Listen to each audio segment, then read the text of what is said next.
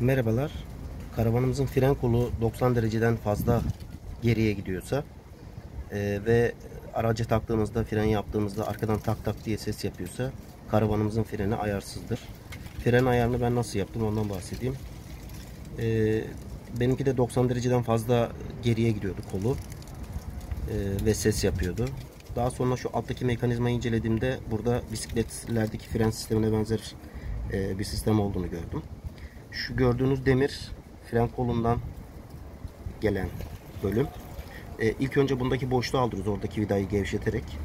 Daha sonra iki tekerin de dengeli bir şekilde frenin ayarlı olabilmesi için e, karavanın ayaklarıyla karavanın tekerlerini boşa düşecek şekilde kaldırdım. Ve e, tekerleri öne doğru gidecek şekilde öne doğru çevirerek e, tur sayılarına baktım. Baktığımda oldukça gevşekti.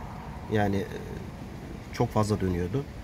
E, orada frene giden tekere giden vidalar var. Bu vidaları yine sıkarak e, telini gergin hale getirerek yani e, yaklaşık 3 tur dönecek şekilde iki tekeri de o şekilde ayarladım. Daha sonra karavanımı aracıma bağladığımda aracımın çok zorlandığını gördüm.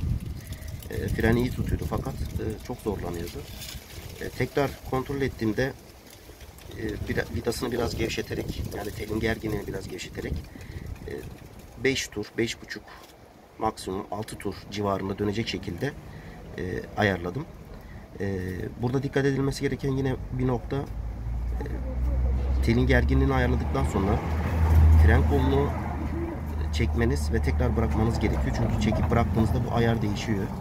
E, buna dikkat ederek her iki tekeri de dengeli bir şekilde frenini bu alttaki gördüğünüz mekanizmadan ayarlayabiliyorsunuz. Ön e, kısımdan da ayarlanabiliyor fakat oradan ayarladığınızda iki tekeri dengeli bir şekilde ayarlama imkanınız yok. Yani tekerin biri iyi tutuyor, biri kötü tutuyor olabilir. Bu şekilde kendiniz yapabilirsiniz.